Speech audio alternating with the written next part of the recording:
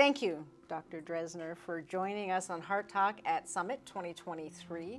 Uh, really excited that you are here with us today. I know that you've been speaking, and so I really want to hear about those presentations. But first, can you share a little bit about your background? You are specifically interested in um, youth sports and cardiology. Can you share a little bit about your background and uh, how you came into your current profession? Yeah, absolutely. Well, first, thanks for having me on this. This is exciting for me as well. It's been wonderful to be at the Cardiac Arrest you know, Survival Summit. Yes. Incredible people that are here.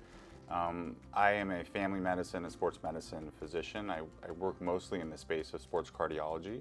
Um, I direct our Center for Sports Cardiology at the University of Washington, which is a nice collaboration between sports medicine and cardiology. Our singular mission is to prevent sudden cardiac arrest and death in young persons um, during sports. And this conference and this opportunity here is a chance to network with a lot of people in the same space who are working towards preventing sudden death and, and preventing or treating sudden cardiac arrest. So, you know, how did I get into the sports cardiology space? Right, right. I knew I wanted to go to med school. I, I quickly fell in love with like everything about medicine. Okay. I played basketball competitively when I was young. I played basketball at Brown University. When I was in college, um, was the same time that Hank Gathers had his sudden cardiac death, which was very in public view. And following that, other cases like Len Bias and, and others. And so suddenly your framework for exercise leads to healthy life and Right. uh, should be good for you. Suddenly you're seeing the healthiest appearing athletes Right, can right. have sudden cardiac arrest. And made me think about it. In medical school, got exposed to an incredible rotation at UCLA on, on sports medicine, a lecture on athlete's heart and sudden cardiac death, and I just fell in love with the topic. And eventually in, in residency and fellowship did my initial sort of research and academic work in that. And since then have just been fortunate that I found an area I'm passionate about. Okay, so you presented two separate sessions. Mhm. Can you share a little bit about those sessions and also why? Yeah, so the so the first session that I presented at was the opening session, which was a really unique opportunity. It presented after Jeff Miller, who's uh, vice president for the NFL, and Jeff gave a, a heartfelt and also personal remembrance of sort of the experience of what he went through, and then what the NFL has done subsequently to the Damar Hamlin incident. And um, for me, I followed that with a little bit about uh, of the science around sudden cardiac arrest and survival. So reflecting over the last two decades, and it really is interesting to reflect how much progress we've made in the last two decades when we think about outcomes from cardiac arrest, especially in our young athletes. So dating back from 2000 to 2006, where average survival in young athletes was about 11%. And you fast forward, you know, now where average survival is probably upwards towards 80%, we've made a massive difference in our ability to um, recognize and respond to sudden cardiac arrest in that setting. And, and you think about it, and sports is that unique opportunity. You know, where else you have all these people watching, and if someone drops, it's, it's a witness arrest. And so we mm-hmm. should have both the knowledge and the equipment to respond quickly and make a difference. And when you do respond quickly, when you have an AED on site, you know, survival can be over 80%, which is far different than calling 911 and having that eight, nine, 10 minute delay before EMS can get Certainly. there. So bystander CPR and public access to defibrillators is really the key to improving survival. My second talk was today, and although we've made improvement, there's still more to do. And the talk today was more about gaps and how we can improve survival for sudden cardiac arrest in athletes. I started the session by asking the audience, you know, tell me what the gaps are. Tell me how we can do this better. And I think one of the messages that was loud was that, you know, th- there's no one solution to this, meaning there's no one policy, there's no one educational module, there's, there's no one legislation that's going to solve all of this. It's, it's a lot of people working in the same direction, a lot of boots on the ground to raise awareness, education, um, more staff training, more athlete and young person training, more access to defibrillators, just sort of a, a better culture around sudden cardiac arrest recognition and management, and then, then we'll do better. What were some of the gaps? I think that you know the first gap that that was talked about, and then I also um, had thought about was just general emergency action planning, and, and that we can do that better. Like everyone understands the concept of emergency action plan; it is absolutely critical, but we can actually do it better. I mean, we have we have schools still that don't practice and rehearse their emergency action plan. We have coaches that should know about it but don't. We we have places where sports are occurring and there's an AED there, but the people who are playing the sports and the coaches responsible for those kids don't understand when to use the AED or maybe even where it is. And so we can we can do that better. We need to fine tune it um, and make sure everyone truly reviews, practices, and rehearses their emergency action plan before the sports season. Another gap is that there's a lot of focus on schools and not a lot of focus on youth and sort of select sports, Okay. which is outside the school mm-hmm. system. And so when you have schools with athletic trainers, with school nurses, administrators, there's more of a system in place to have good emergency action plans. Now go to select soccer or AAU basketball or Right, anything right. like that, and what is the what is the structure in the organization that says coaches need to understand what cardiac arrest is, or be trained in CPR, or know where the AEDs are, or practice and review anything. There, there is no structure. So, so that space for me is wide open for, for movement and for education and for good policy that we can really make a difference. It is wide open. It's wide open. And is it policy? Is it uh, community based? Where do you think like the first starting point is to make significant progress? Where do we start?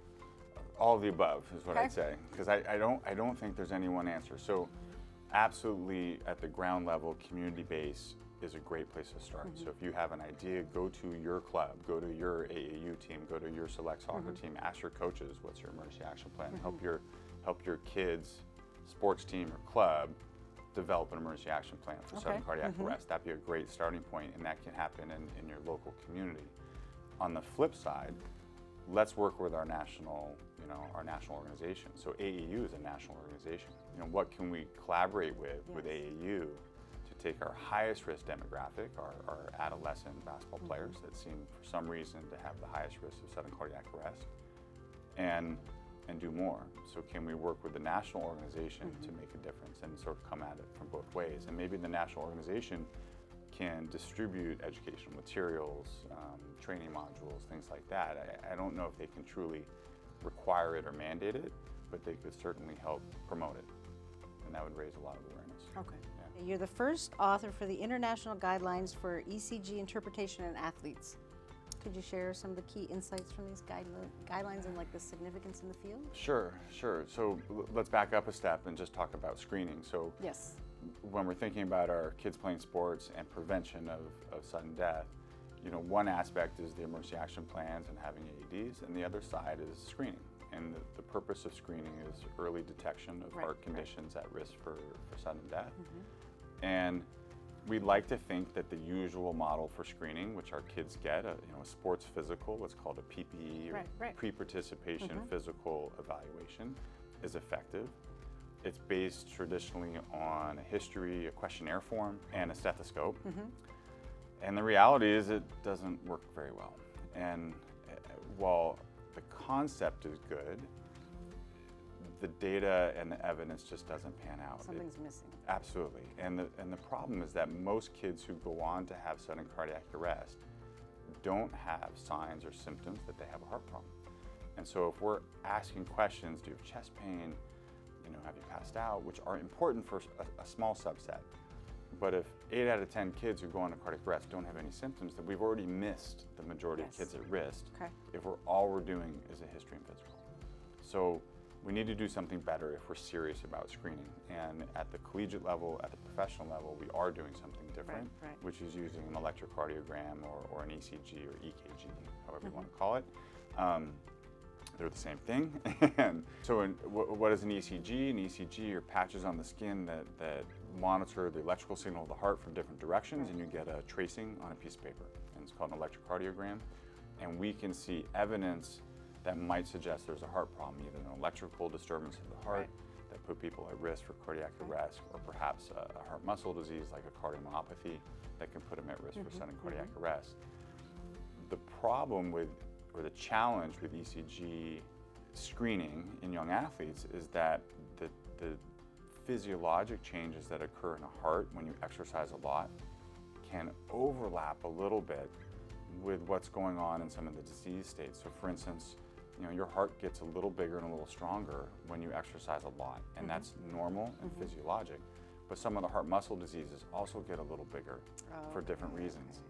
And so now we have to be able to look at the ECG and distinguish findings on the ECG that suggest this is truly a problem and abnormal and suggestive of a heart condition Right. versus findings that we can feel confident are physiologic and just related to athletic, you know, training and Sure, exercise, sure. remodeling of the heart. And so what the ECG interpretation criteria did, it started in, in 2013 with what's called the Seattle criteria, and in 2017 the next iteration was called the international criteria. This took our sports cardiology experts from around the world to come to some consensus on what are in those those two boxes. What what can we put as these are what we consider the normal findings on an ECG in an athlete, and these are the findings we need to be concerned about that deserve more investigation. So when you interpret ECGs using that sort of those athlete specific standards, we can do much better quality interpretation with better accuracy most importantly, lowering the false positive rate. So a false positive ECG is when we call the ECG abnormal, but there's really nothing wrong with the heart. And if that happens, you know, in 1% or 2% of people, that's totally acceptable if, you know, one in five, one in six abnormal ECGs might show up and truly have a, a, heart condition. But if we're calling 10 or 20% abnormal, and all of those kids have to go on and get more testing, it's a huge cost, it's Right, a huge right, right. burden, they might have be delayed in participation, there's harms in that, and that's not acceptable. So, you know, two decades ago, the false positive rate for ECG interpretation athletes was probably 25%. I'd say on average now it's probably like 2%, and oh, it's Oh, that's been a massive improvement. Yeah. And so the ECG interpretation criteria has allowed ECG to really have a place in our screening protocols. And now it's just about training more providers to be able to look at an ECG accurately so we can Okay. get this out beyond professional and college, but into the high school and youth setting. And we're not there yet. We're not there yet, Okay. and it's an infrastructure issue, in my opinion. Yeah, we don't have enough physicians who are capable of accurate ECG interpretation to do that more broadly. Is it a cost consideration? Because I remember hearing, right, because in our local high schools, why, why aren't we doing the screening? And, and costs kept coming up. Yeah, It's prohibitive. yeah, it can be a cost issue. So let's put the cost issue on a couple scales. So, uh, you know, the history and physical already costs, right? You're already creating a completely separate physician visit Correct. to have this sports physical. Yes. And it has been shown to be the least cost effective model is just history and physical. So it already costs. When you add ECG, it ranges from 25 to 50 dollars, let's say, to get an ECG. So not that much for some people or communities that might be cost uh, prohibitive if your insurance doesn't cover it. You know, what really costs is not the ECG itself. What really costs are the secondary tests you have to do if the ECG is abnormal. So if you need to get an echocardiogram or a cardiac MRI, now you're talking about costs that are Yes, like $500, a thousand, a couple thousand dollars, and that adds up very quickly. And so you can't have a high number of abnormal ECGs or false positives, and that's the mm-hmm. whole point Right. of lowering the false positive rate. Be- now ECG becomes more cost effective. Wonderful. Thank you. So one of your presentations, as you mentioned, was about how the NFL saved a life, right? It mm-hmm. talks about Damar Hamlin. How has the aftermath of that incident changed actions just kind of within the sports community around response? It's not bystander CPR, obviously, there was an emergency action plan in place and, and there was a positive outcome, but can you talk a little bit about how that incident has shifted the, what's, what's happening right now around awareness?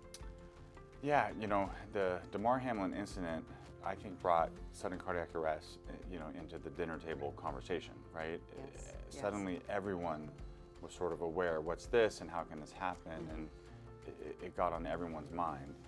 And, you know, first and foremost, Damar had an incredible save and resuscitation. so glad he's doing well. Right. But what's happened in the aftermath has also been beautiful, meaning, you know, it was on every major, you know, uh, TV station and radio, and everyone's covering cardiac arrest and athletes and what can we do about this. And suddenly, emergency action plans and the value of AEDs and the value of understanding CPR Yeah. is is at the forefront. And so, I think a lot has changed in the last year because of that incident. You know, fast forward seven months, and Bronny James has a, a mm-hmm. cardiac mm-hmm. arrest, and again, it's it's just it's in all the newspapers at least for a short period of time. So, um, these elite athletes who are having cardiac arrest is an opportunity to raise great awareness for the general public. And I do think that trickles down to the youth level. And so in the mm-hmm. sports medicine community, I think everyone wants to sort of tidy up their emergency action plan. You know, following Damar's case, a lot of discussion on what should be happening on the football field. You know, how do you properly conduct a resuscitation when someone's wearing shoulder pads and a helmet? It makes it more difficult. What, what if you're, you think it's head neck trauma? I mean, there's a lot of questions that can raise issues, but more and more, you know, we try to simplify the response and the recognition. And so, what I try to educate and promote is that if you have someone, an athlete, who's been exercising and they collapse and they are unresponsive, unresponsive to a shoulder tap, Right, right. unresponsive to verbal stimuli, I think you have to assume that could be cardiac arrest, and you and you start your emergency action plan. You know, you, you call for help, you call 911, you start chest compressions, you have someone go get the AED, mm-hmm. and use the AED as soon as possible. You just reminded me. I saw you showed it last night, and I had seen it before. You've got something on YouTube that's been trending incredibly. it was so impactful. Can you share a little bit about, first of all, what it is, and then also like why? Why did you create that? What's on YouTube is a YouTube video, How to Save a Life, and it's recognition uh, of a sudden cardiac arrest in athletes.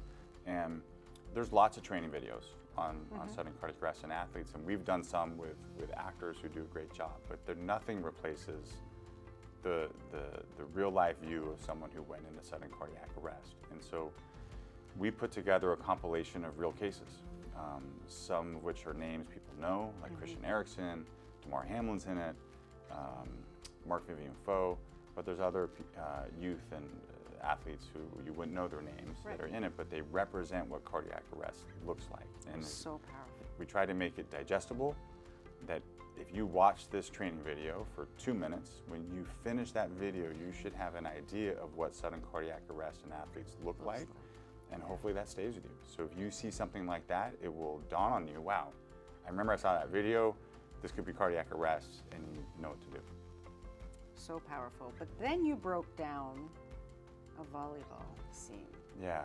And that was so powerful. It really resonated with me. And I think, you know, you broke it down like minute by minute. Can you talk a little bit about like why that was such a successful outcome? Yeah, so this is this is a, a, volleyball player named Claire who had a, a cardiac arrest at her high school. And what I love about her save and the video is how well the emergency action plan was carried out. And it's similar but also contrasts what happened with Damar Hamlin. So Damar Hamlin, the emergency action plan was carried out super well. But you had a team of 20 medical professionals around them. You probably had 20 physicians on the field, Right. you know, caring for him. For Claire, there's not a single physician there. There's one medical professional, and it's an athletic trainer. And you just have a school administrator and other people who know what to do because they've practiced an emergency action plan. And so the message to me is not that you need a team of physicians or medical professionals to save a life. You, you just need one person who knows what they're doing, one person who can recognize cardiac arrest, one person who can call for help, start chest compressions, and get the AED. And, and Claire's case really demonstrates that. They, you know, within 10 seconds, they've called, you know, not, you know, Right. someone called 911, someone go get the AED, the AED's by her side, and within 30 seconds, they've started chest compressions within about 50 seconds. They have analyzed the rhythm and provided a shock about two minutes and 20 seconds, and she's revived. And it's just incredible to watch.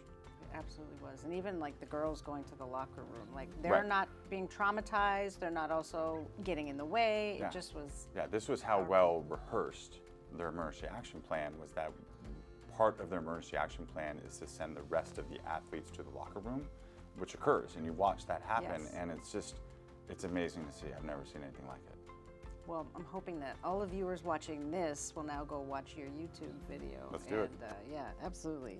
Um, so, as a result of the Damar Hamlin incident, Smart Heart Sports Coalition was formed. Um, how does the coalition translate to athletes across all sporting levels? So Smart Heart Coalition was uh, started by the NFL and now has a ton of partners, which is awesome. And I, I, I think the NFL deserves a lot of credit for, for moving this forward. And Damar Hamlin and his foundation and family is sort of leading this.